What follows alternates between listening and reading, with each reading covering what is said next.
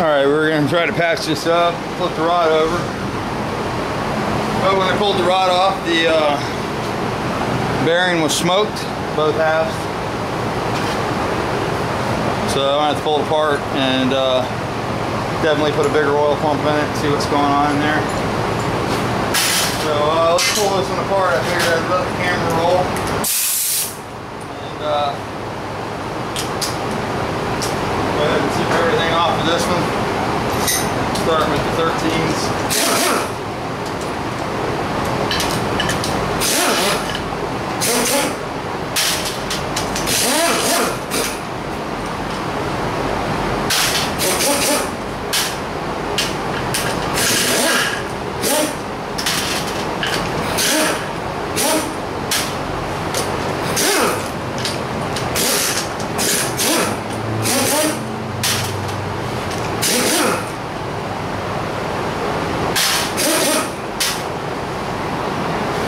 Anyway, hope everybody's having a good day today. Still got that Daytona footage. Gotta get that up.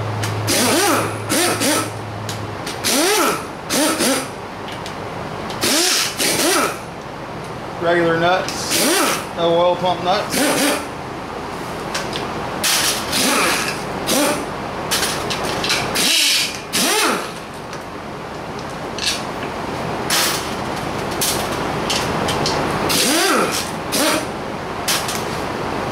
And I think that's it. Just want to check these two back ones here. Those are the ones people usually forget. The case nuts next.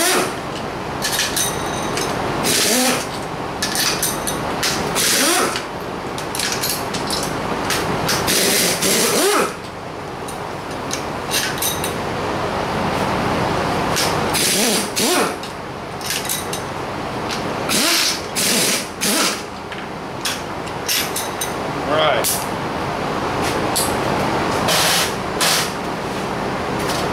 Little magnet action next works good. Get all your uh, spring washers off.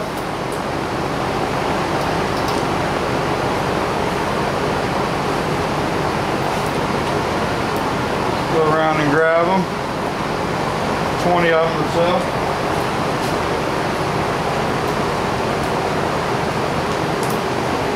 Uh, somebody asked me why I like big oil pumps. They said that they use too much power. The problem with the Volkswagen motor is uh, they grow when they get hot, so the clearance gets bigger and bigger as the motor gets heat in it. And if you don't have enough pump to compensate for that, you get this. Usually burns bearings up because it loses too much oil pressure when the motor gets hot. So more pressure is uh, better than not enough pressure. And usually when the motor is at operating temperature, the pressure is not very high anyway with a high volume pump.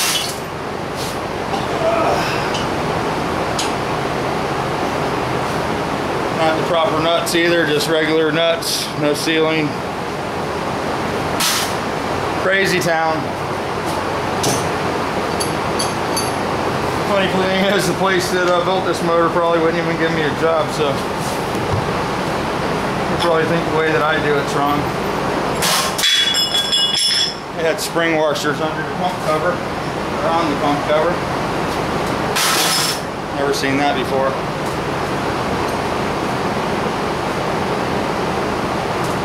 Knock this pump out of here. We won't be using this again, it's uh, way too small.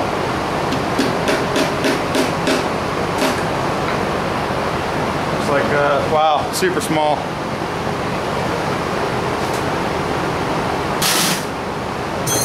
Super small pump there. Really, uh, very inefficient. Take that out of there. It's uh, some crazy brand, I don't know. Gonna zip our strainer plate off next. So let's do that. And then we'll be ready to separate our case halves and inspect the inside of this bad boy.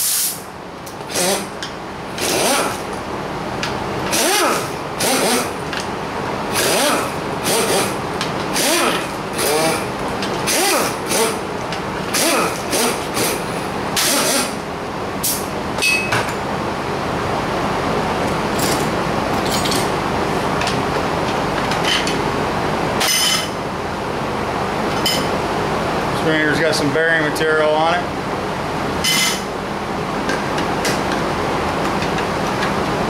Nice strainer. Okay, so this time I like to go around the case one more time, make sure I got all my nuts. Check the eights. Looks good, looks good. Let's go ahead and split the halves. Go ahead and employ the lifter tools just in case the uh, cam lifters are good. We'll keep the lifters in the proper positions. These are the lifter clips. You can make these uh, out of coat hangers or you can buy these from Bug Pack or Scat. Good idea to have these on hand. Especially if you're into freshening your stuff up and you want to use your lifter. So here we go. Only gonna put a little pressure right here. The crank, break the seal. On the back.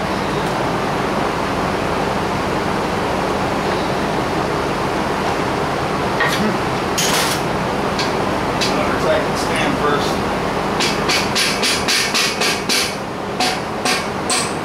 All right.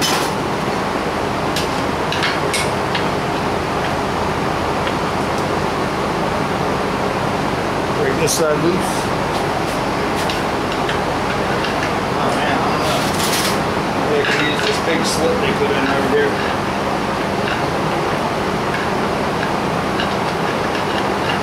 Oh.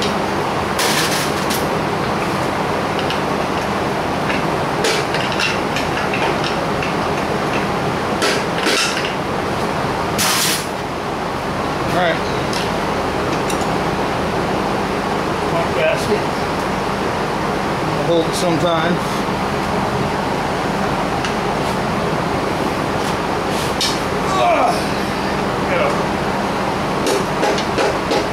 dowel pin loose.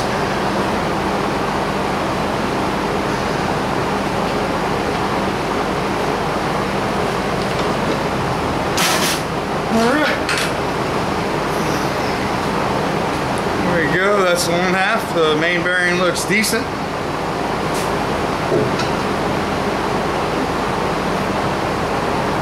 Aluminum bearings, quite contaminated. The lifters look really nice though. Take you guys off the stand, we'll get you in there into the motor. Show you what's in here. There we go. First thing we do is pull our cam out pull that out. It's a early model flat cam. Which is surprising. The dishes are the late model cams. And what I mean by dished is you'll see how this one is got four rivets. This one has three and a flat gear. That's a early model cam. All your aftermarket camshafts will employ a flat cam also. Got to pull the pistons off the other side. You can't pull the crank out you can see this cam bearing. I've never seen a cam bearing completely wiped out like that to the copper. But uh, that's the thrust. That's from proper, not properly fitting the uh, cam in there. That obviously didn't turn very well when they bolted this case together. And uh, you can see the back is also copper on the cam bearing. Now if you ever see one of these and you're building a motor, let me see if I can get this out of here for you so I can identify it for you. That's probably ruined the case. Hopefully not though. These are the uh, cam plugs that they sell at the uh, store. And you just want to throw that away as soon as you see one of those gold cam plugs because they're too damn big for the back of the engine. So we'll be putting the OEM cam plug back in there and uh, yeah lifters don't look too bad the cam bearings are shot that's our oil pressure loss right there and uh, we'll get the crank out look at the rear bearing. You can see where it's been squirming around. You can see the aluminum on it. So hopefully uh, the thrust looks pretty good. We'll check the line bore. Probably go with a new set of bearings in here obviously. A new oil pump, some new cam bearings, and we might put a little cam in this because she wanted a little pep. So uh, it's turned out to be a, a freshen, and uh, I didn't want to do it, but obviously it has some issues Here's the other side. Give you a quick look at this half. You can see we're in the copper back here in the cam bearing. And uh, same here. The cam was very tight in there. You can see all the, the places it was binding. It's copper. So these are the aluminum bearings, which I don't care for. You can see why I don't care for them. You can, I don't know if you can see this or not. Let me uh, pull the bearing out and show it to you. The bearing is galled up. And uh, this is what happens with these bearings when they get hot. They don't have the integrity to uh, hold up in any kind of heat situation. The case feels pretty decent but this bearing has no weight to it at all. And uh, it's a standard and you can see the uh, the surface of the bearing where the crank's trying to grab it you know when the bearing heats up the aluminum uh, obviously has a much lower melting temperature than the uh, crankshaft and if you lose any kind of film contact with the oil then you have bearing failure and uh, that's exactly what we've had here. So we get some new bearings wash this all up and uh, make sure the motor rotates this time properly and get a better oil pump. And uh, all that stuff basically a rebuild freshen up. And I did figure out that these piston cylinders are 87 so this is a 1641 not a 1600 and uh, I really don't like 1641s because the cylinder gets compromised when it gets hot, doesn't have enough integrity to hold up and keep the ring sealed. So that's where we're at. Got something going on with the timing gear here. It feels very sharp. Uh, I think they probably had a, a probably a mess issue with the gear. They might have taken a plus or a minus and they just left it and that's why they had all this wear here. So somebody wanted to know the age of this motor and I saw a stamp in it. It was 1010. I don't know if that was the first time it was built or when it was warranted last.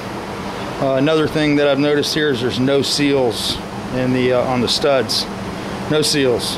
No seals. Uh, there's a seal that goes there and you really should employ the seal there because uh, uh, it has a lot to do with the way the case sits and uh, case has to go together and that could very well be the reason that this is pinched so tight there. So anyway, basically we're gonna degrease it, clean it up, and uh, we'll go back with a reassembly. And I'll try to get you guys on that video too. So let me let you guys go. Hope you enjoyed that little teardown, and uh, you guys have a goody goody.